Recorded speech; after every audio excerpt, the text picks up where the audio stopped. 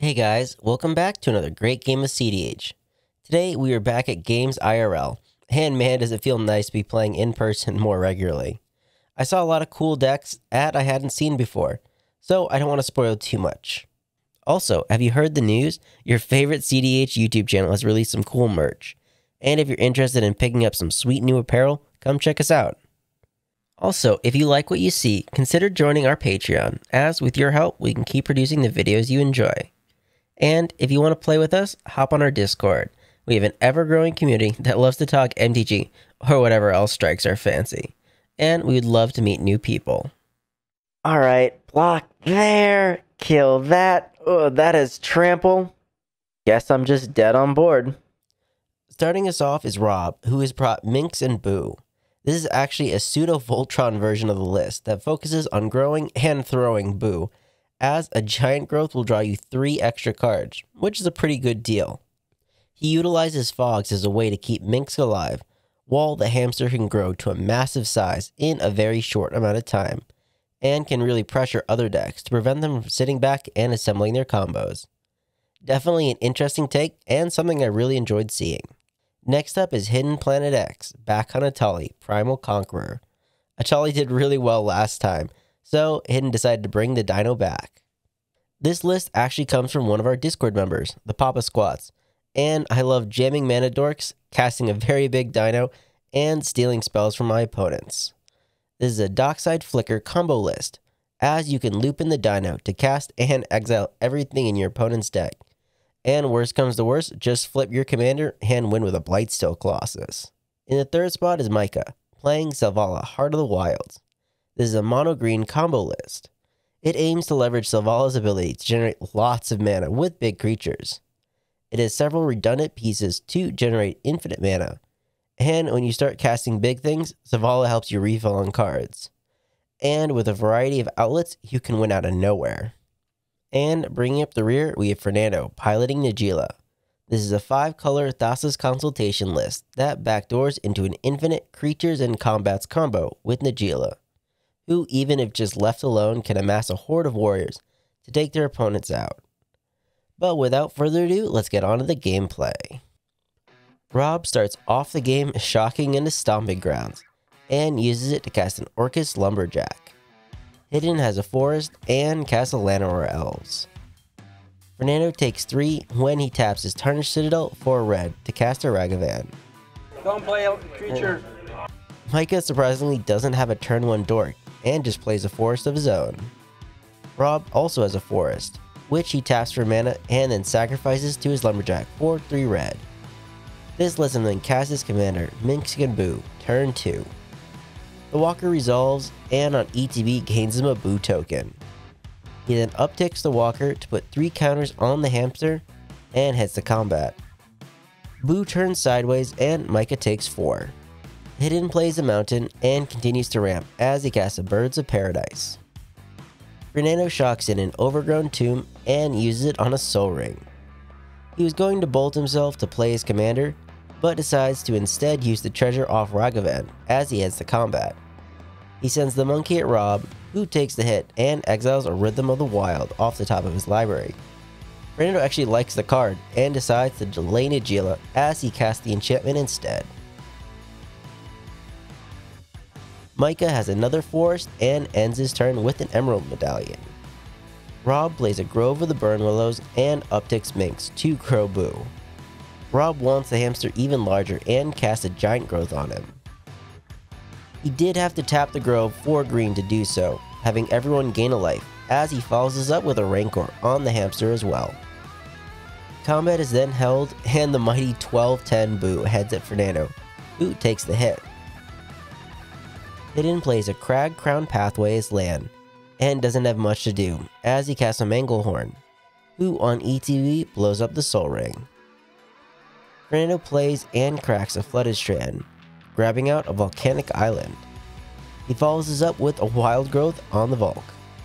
The land is then tapped for a blue and a green, with Fernando using the green on an Ignoble Hierarch. The Dork resolves and Fernando gives him haste from the rhythm.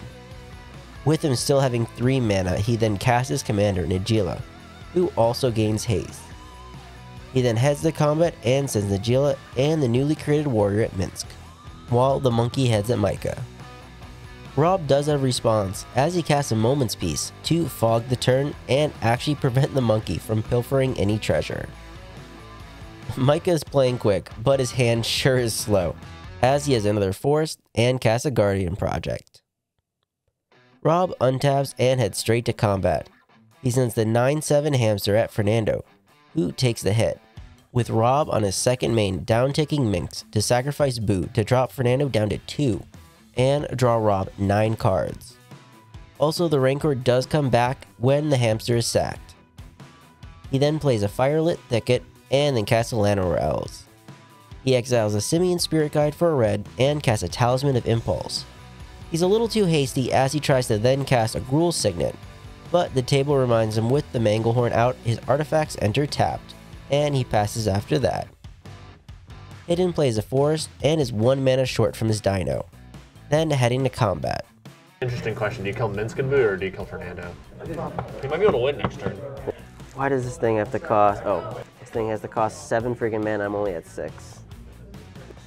Ultimately, Hidden is afraid of a sneaky win and decides to send his Manglehorn at Fernando to take him out, with Hidden on his second main gambling. Hidden has an inkling of what to get, but is worried about losing the card. He does finally pick one and has Fernando randomly shuffle his hand while Micah discards a Twinflame. And yes, that was what Hidden had tutored for, although he certainly didn't admit it at the table. Micah plays a forest and casts a basically free Nature's Lore as he grabs another untapped forest. He casts Selvala and draws off the Guardian project as the creature enters. Rob on his upkeep gets back his boo. He then plays a mountain and after sacrificing his two lands to the lumberjack needs more mana as he casts a Kodama's Reach. He puts a forest into play and another to his hand. He then upticks Minsc to put more counters on Boo, and then Rob reapplies his Rancor as well. He heads to combat and sends the 6-4 at Micah, who decides to block it with his face. Hidden untaps and does have the land he needs. He plays a Yavimaya Cradle of Growth and taps out for his commander Etali. The Dino resolves and on ETB exiles cards off the top of each player's library till they reveal a Fog from Rob, a Relic of Progenitus from Micah, and a very spicy Heat Shimmer from Hidden. He doesn't cast the Fog and gets a token copy of Etali from the Heat Shimmer. So the fun begins all over again with another Etali trigger. Hidden does sacrifice the token due to legend rule, but is still happy as he gets a greater good from Micah, a Kazul from Rob, and an Eternal Witness from himself, with Hidden getting back his Twinflame from the Ewit. Hidden then ends his turn with combat as he turns his Manglehorn at Minsc, which Rob responds by flashing back his Moment's Peace to fog everything again. And at his end step, Micah channels a Boseiju to destroy the Greater Good and grab Hidden at Taiga. Micah plays another Forest and for 7 casts a Woodfall Primus. With this, we do realize Hidden should have drawn a card off Selvala as the Woodfall enters, triggering the Guardian Project and his ETB to target Minsc. And man, was Hidden happy he did not have that Greater Good with Micah ending his turn drawing off his project. Rob draws and plays a forest. He spends most of his mana to recast his commander Minsc. He follows that up with a regrowth to get back his giant growth and heads to combat, sending his hamster at Micah for 6. Although, when no blockers are declared, Rob does cast his giant growth to make it 9 instead. With him on his second main, fleeing the hamster to kill the Etali and draw him 9 more cards. Hidden isn't actually that worried about his dino being dead, as he casts a Twinflame targeting his Eternal Witness. He holds priority and casts a Dualcaster Mage to copy the spell, letting him get a new Dualcaster Mage, which gives him infinite hasty creatures, winning him the game. Well, looks like the dino is back and still crushing it. Micah did mention he had the win next turn, with either an Umbral Mantle or a Staff of Domination. So it was good Hidden went off when he did. Also, one thing that wasn't mentioned was it was also fortunate that Rob tapped out, as he was holding up another fog that would have fizzled Hidden's plan. But it turns out getting to cast a bunch of free spells off the top is really powerful, and a big beefy dino as backup is also really good. But it was really cool to see the hamster do so much work. I had definitely underestimated this pairing when I first saw it, but oh boy, can it really bring the pain. Also, as a reminder, I am a community ambassador for Monarch Media, and while I can't say anything just yet, they are back and are ready to create quality CDH tournaments and events. So if you're interested in finding out more, check the links down below. And thanks for making it to the end of the video.